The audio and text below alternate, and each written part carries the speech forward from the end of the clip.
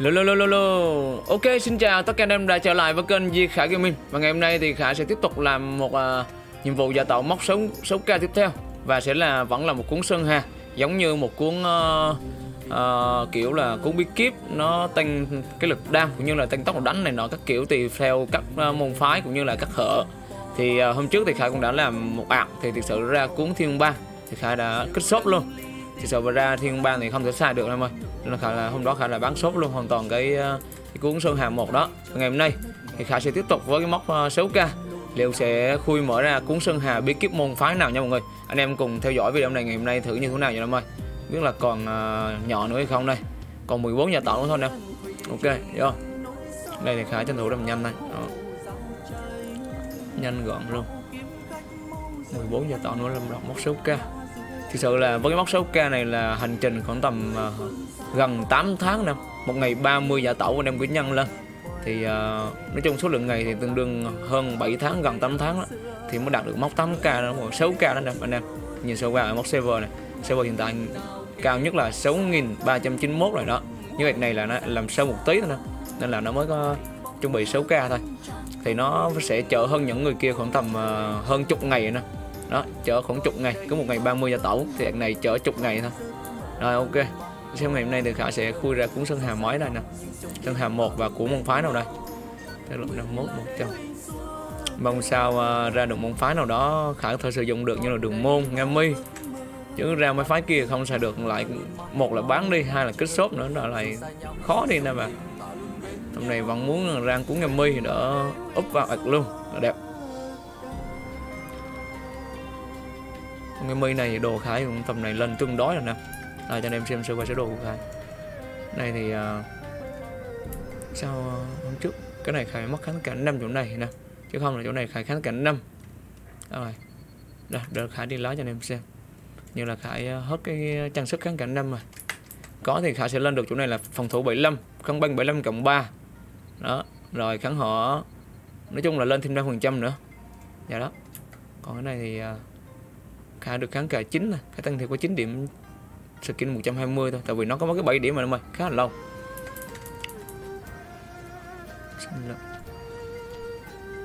À, liệu sơn hai gì đây. Ngoại công. Ngoại công là sức mạnh từ một. À sinh khí à. sinh khí một đến năm.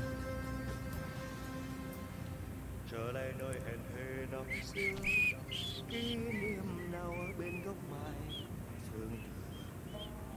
ta tìm về ngọn đồi đóng cũ.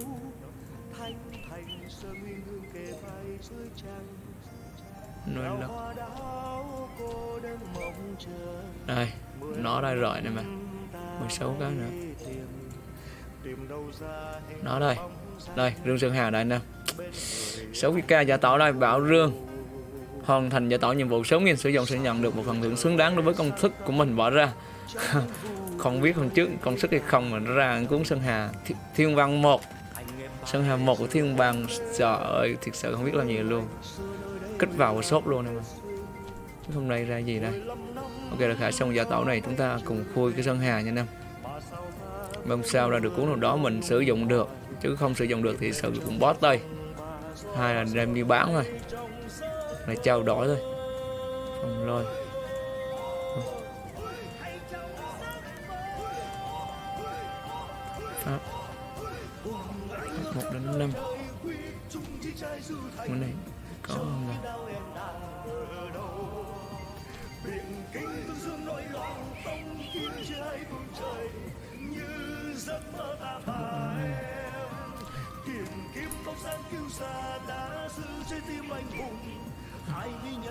ngọc bội à? à có ngọc bội nam.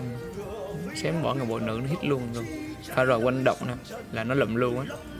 Quên bỏ ngọc bội vô bành, nó hơn ngọc bội nam là mất rồi à. rồi. Cuối cùng cũng đã xong móc 6k xem được gì đây anh em ơi? Hôm nay là chắc là đi về cánh bình à, quá tử đi khui thôi anh em ơi hôm trước cũng tăng trang như quá tử thiên sơn các kiểu là điểu. Là đúng cuốn thiên bang thì sự bó tay. Hôm này cuốn thiếu lâm vẫn hot đây nè. Thiếu lâm rất là hot nè. Thiếu lâm chưa ai có luôn.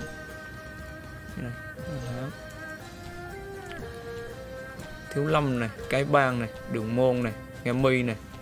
Những phái mà hiện tại đang khá đông người chơi ấy. thì nó sẽ có là rất là hot. Giá cả nó không hề thấp. Rồi.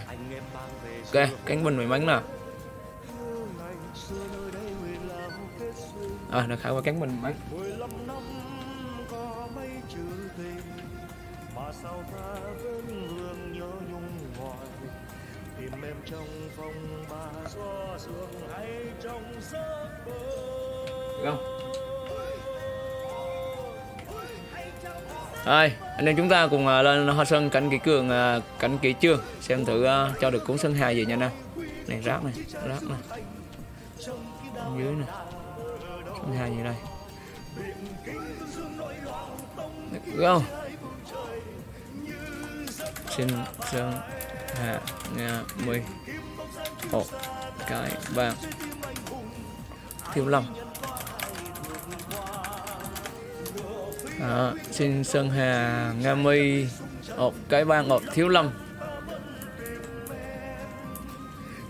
Khui nhà anh em, khui nhà anh em ơi, anh em đang xem thì uh, trong một lần hồi chơi anh em ơi. Khui.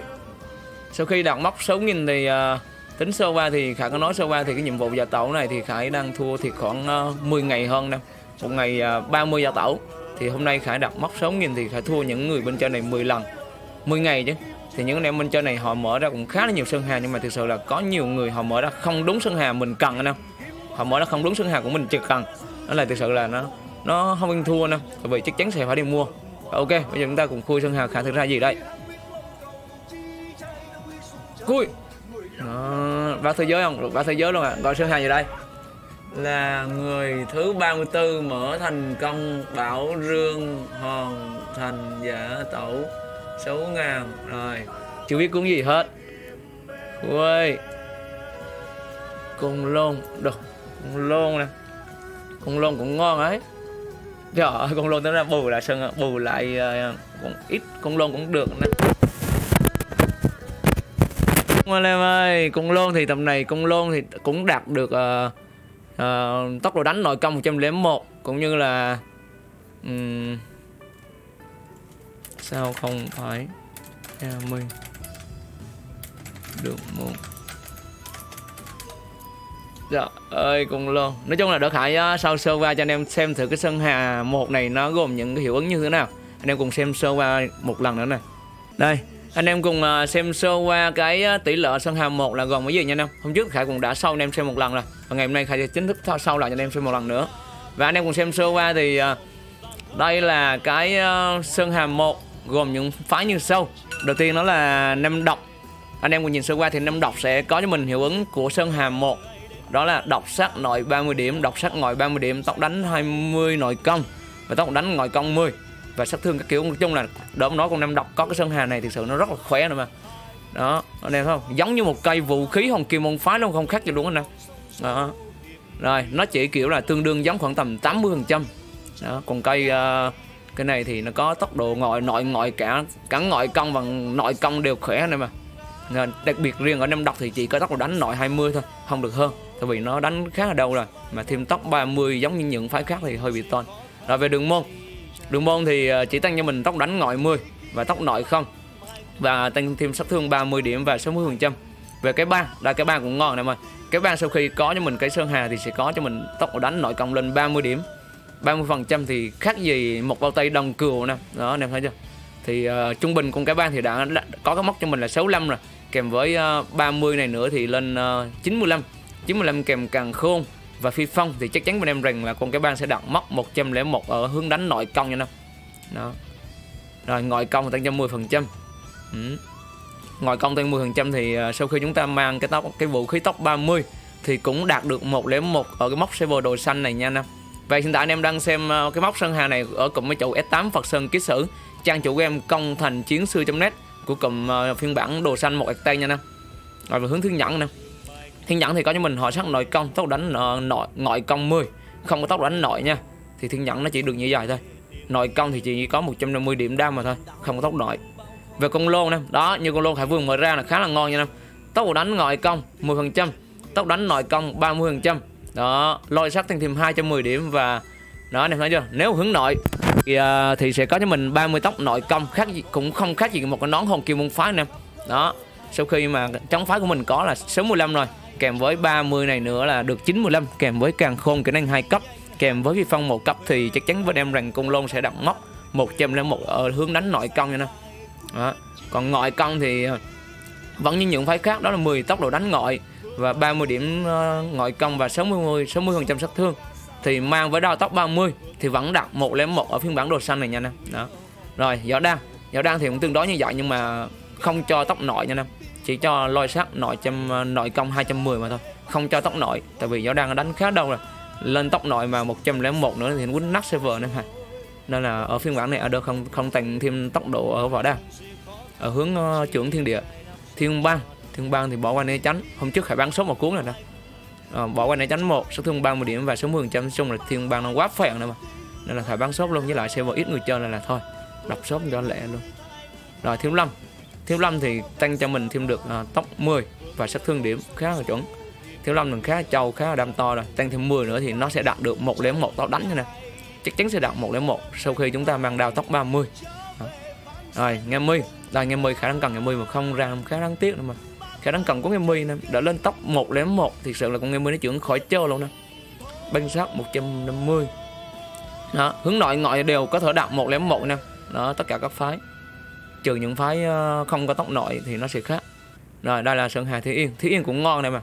Thí yên tốc nội 30 ngoại công 10 và cũng chung là những cái phái nội công thì đa số là tăng nội công 30 và ngoại công 10 chỉ trừ năm độc thì chỉ có nội công là 20 tóc mà thôi.